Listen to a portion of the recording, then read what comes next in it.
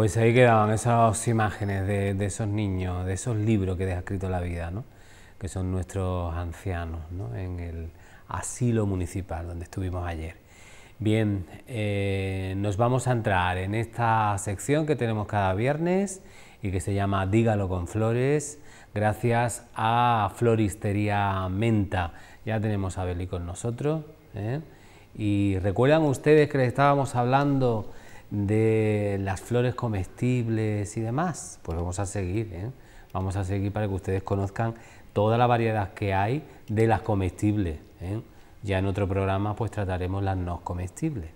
Y vamos a empezar con la primera, que vamos a darle la bienvenida a Beli, que ya está aquí con nosotros. Buenos Beli, días. muy buena. Buenos días. Y vamos a empezar ya con la primera, que van a ver ustedes también en pantalla para que ustedes también identifiquen de la flor que, de la que hablamos, ¿no?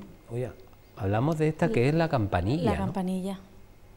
La campanilla eh, viene mucho, tiene muchas tonalidades, sobre todo la que más predomina, la que más abundancia es, es la del color azul, esta, ¿vale? que todo el mundo hemos visto por ahí, que, que no es difícil de encontrar, y el sabor es dulce. El sabor que tiene es, es dulzón, que se utiliza para los postres. Yo me o para decoración. Claro, yo me acuerdo que en el tallo tú hacías así, sa- Sí. sabía a miel, Sí. melaza. Sí, sí, ¿eh? sí. Fíjense, pues con esto, con esta flor se puede hacer eh, Postres, postres. sí. Se pueden utilizar para los postres. Qué rica la campanilla. Vámonos a otra, a conocer otra. ¿eh? La capuchina. Esta es la capuchina. La capuchina. La capuchina es de color rojo, naranja o amarillo. El sabor es picante, como el del, el del berro, que es como así en picantón. Sí, sí. Y se utiliza en ensalada, para decoración, para, para decorar pla- pa- platos de postre, ¿vale? Pero sobre todo en, en, En ensalada. Mira, Esa ahí no- vemos una. Sí, Ahí vemos una ensalada. Mira qué bonita queda, ¿eh? Con, la, con esta flor que es un poco así como la pimienta, digamos, que Sí. podría ser, ¿no? Eh, Las mismas funciones, ¿no?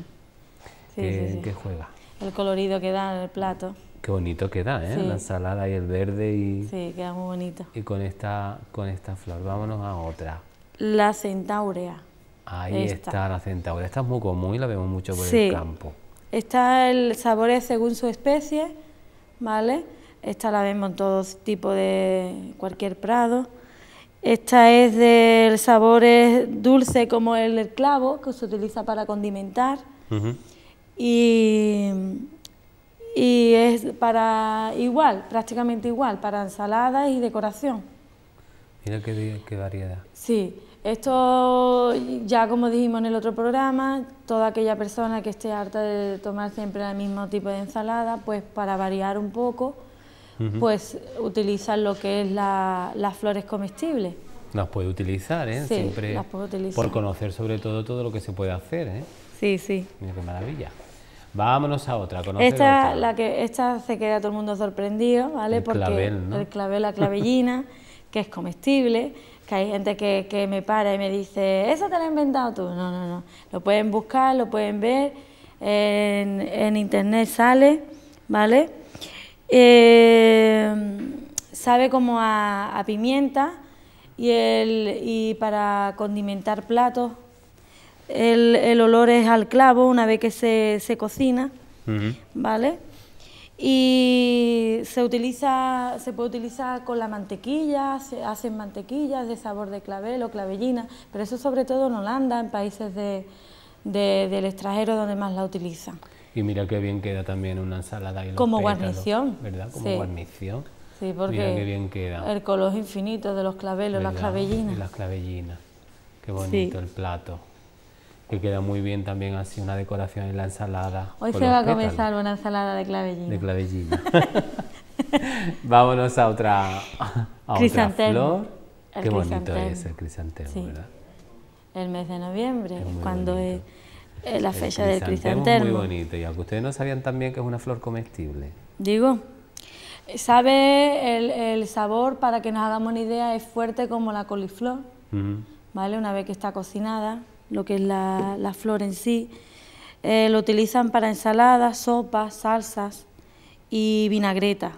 Ajá. Solo se- mm, hay que decirlo, solo se utiliza siempre los pétalos. Los pétalos. De- Estamos hablando de pétalos, Mira qué bonito.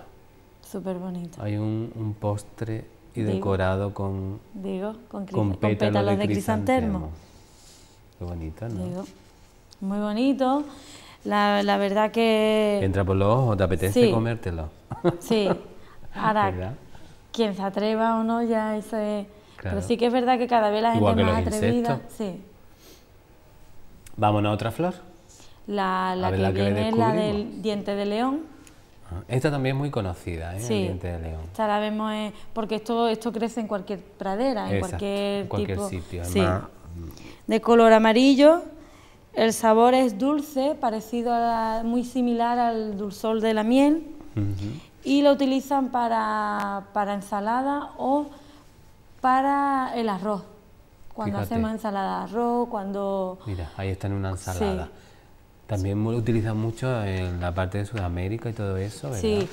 Eh, la- este- utilizan mucho las flores comestibles. Sí, no, la gente nos para, nos pregunta nos- y dice, ¿cómo puede ser que...? Pero es que aquí no lo, no lo solemos hacer. no, claro, no hay La esa... verdad, Ahora se está introduciendo, ¿eh? Sí. Cada vez se están preparando más platos con flores. mm, la verdad que como la dieta mediterránea no hay nada.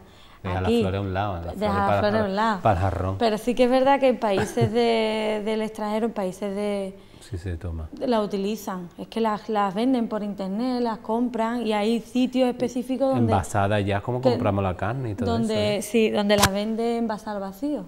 Pues vámonos a otra.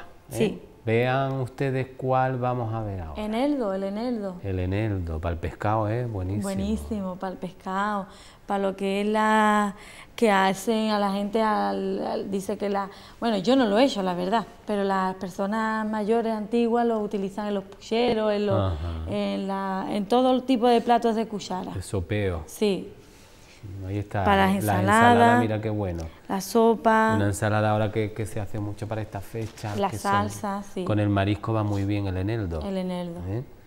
Ya esta es más común, ya esta no, ya esta no hace falta de, esta se te la vende ya en, En botecitos. en ¿no? botes como la... Pero los- si compran ustedes natural, mucho mejor. Sí. Y, y la pone así. Y también la flor amarilla ahí acompañando, queda muy bonito. Sí, sí, sí, sí.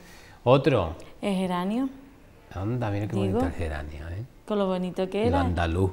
Digo. El geranio. El geranio. El geranio mm, lo hay de muchos tonos, la- el sabor según la variedad, lo hay desde cítricos a frutados o, o florales, el sabor, ¿vale? Y se utiliza para postres, pasteles, bebidas, ensaladas, Mira qué bueno. para guarnición, Las tres bolas de helado y el geranio. Pues para está- decorar. Sí, es ahora es buena idea lo, lo que, que hace las flores, es tan bonita en los platos. da ¿eh? mucho color, ¿Verdad? mucho colorido. Ahora en cualquier plato, no hace falta de... En cualquier plato, ahora para la fecha que, Que vienen. que viene, Queda muy bonito. sí, Bueno, y para decorar la mesa, después hablaremos un poquito de los centros, que también. ¿eh? sí. Vámonos a otra. El girasol. Anda que no. El girasol, el sabor es muy amargo y lo utilizan para ensaladas, lo que es siempre los pétalos, ¿vale? Ensaladas o eh, para sopas. Para quitar el amargo que tiene los pétalos, siempre hay que cocinarlo al vapor. ¿vale? Y, y, se- y el capullo, antes de florecer, se puede mírala. utilizar como hacerla, cocinarla como la cachofa. Mírala. Sí. Ahí está cocinada como tal. Sí. En México se hace mucho, creo. Sí, lo utilizan mucho. Se come mucho esto.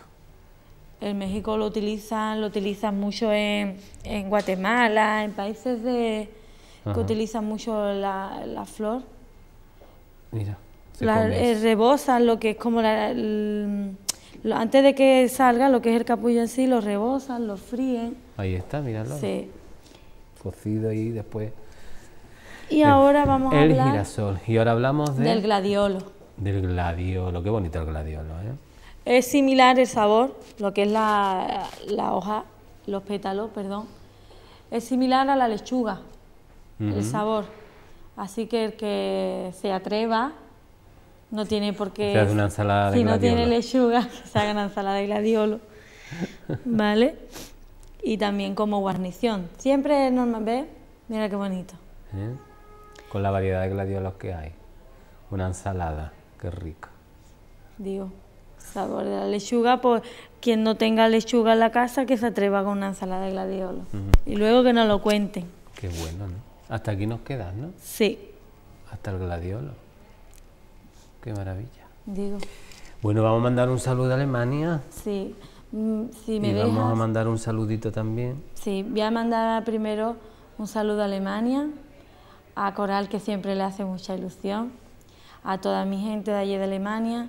Y ahora, si me lo permite, voy a dar un beso muy grande y un abrazo muy fuerte a unas familias que hay en el pueblo donde está la floristería, Los Cortijillos, que ayer se fue, por desgracia, una gran amiga nuestra, Ana María, y me pongo triste. Un saludo desde aquí, un abrazo a toda la familia y que nos tiene para lo que le haga falta y un apoyo muy grande para todos ellos que se han quedado destrozados y, y ha sido todo muy fuerte.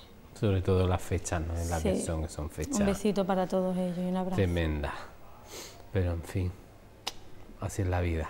Sí, Beli, Lleva- feliz Navidad. igualmente. ¿eh? Feliz Que lo Navidad. pases muy bien. Feliz año nuevo a todo el mundo y que el 2014 Venga entre mejor. con sí, Entre con la subida de la luz. sí pero y con la subida de la bombona, Que venga, y de la bombona también, que venga mejor. pero que venga mejor y Que sea todo mejor. grato para todo el mundo y que no tenga nada que ver con el 2013 que se que se termina.